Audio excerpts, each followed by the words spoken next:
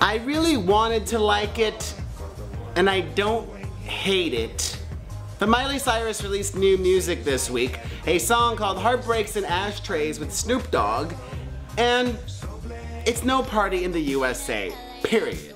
Take a listen to a little bit of the song right here.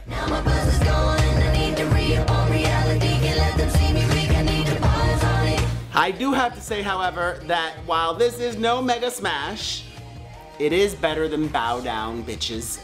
And uh, I am curious to hear more.